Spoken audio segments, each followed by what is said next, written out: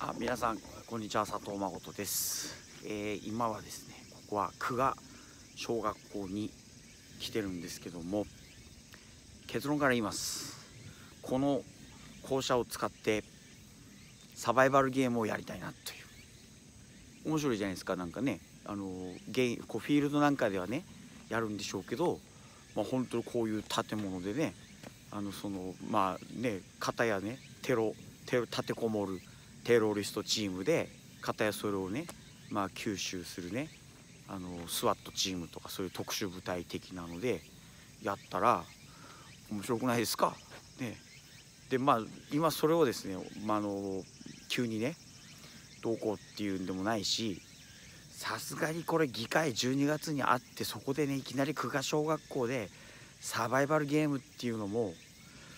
まああの他にも言わなきゃなんないことはありますからねあのそれはそれで僕自身面白いなとは思うんですけどもまあねあのじゃあお前サバイバルゲームやったことあんのかよって話になるとじゃあ一回そういうのもやってみなきゃっていうことにもなっちゃうしあのなかなかそれはしんどいわけですからまあこういう形で、まあ、言っておくだけ言って、えー、あの皆さんもね、えー、いやサバイバルゲームよりはこういうのじゃねえのとかまあそう考えてねいくっていうのが大切なのかなと思います。で言っときますけどこれちゃんとこれね一応立ち入り禁止なんですけどちゃんと市役所のね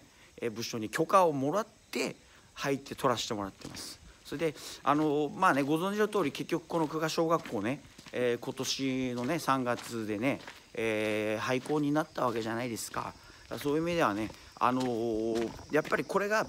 人口が減っていって縮小していく社会のまあ一つね一つの様相ですからこれ自体をねえー、あの亡くなってしまったことが人口を増やせなかったことだあの政治も行政もね無策であったとかねまあまさらには地域の人でさえもっていうよりはあのまあね縮小はしていくけどもじゃあこういった資産を財産を活用していったりそういったその確かに人は減っていくかもしれないけどもじゃそういう地域の残していかなきゃなんないもの例えばねどんど焼きとかいろいろね例えば板川だったそのアンバサマとかそういうちゃんと残していくものを決めてそして諦めなきゃなんないものも決めていくっていう中でねあのー、いろいろな何をすべきかというのを、え、考えていく必要があるのかななんてね、えー、思ったんですよ。であとはその議会もね、えこの議会ではあの議員定数削減ね倒的多数の議員が議員定数を減らすべきだって新聞に答えて、えー、受かってきてるわけですからあのこれがねそれが意味するっていうことは一つあの反対する人の理由の中でやっぱり地域の中にねこうだんだんこう議員がねましてやこういう中山間地から代表する議員がいなくなっていくじゃないかっていうねそういう意見もあるんですけどもだからこそ自分に住んでいない地域だとしてもだから議員が立ってまあ久我はいるんですけども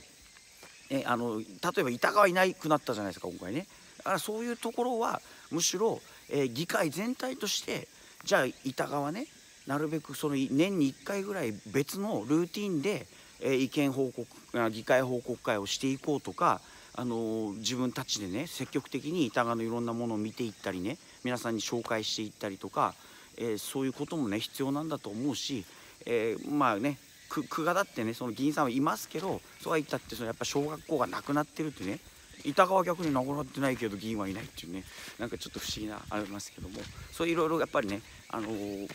何でしょう考えていかなきゃなんないなって言ってそう行動もね、していかなきゃなんないしその中でまあサバイバルゲームがね究極の正解だとは僕も思わないですけどもあのー、見たりね考えていく中でどんどん提言をね、えー、していくっていうのがあのー、まあ、一つのね僕らのねあの仕事なのかなって思いますんでただそれだけやっててもダメなんです。やっぱりこう地道にね、あのー、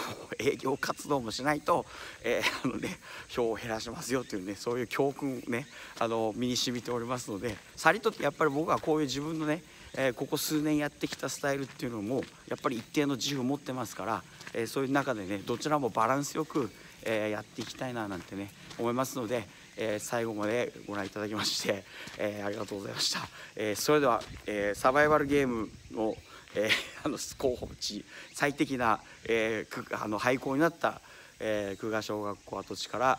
お送りしました。皆さん最後までご覧いただきましてありがとうございました。しますもう何回も言いますけどちゃんと許可もらってますからね。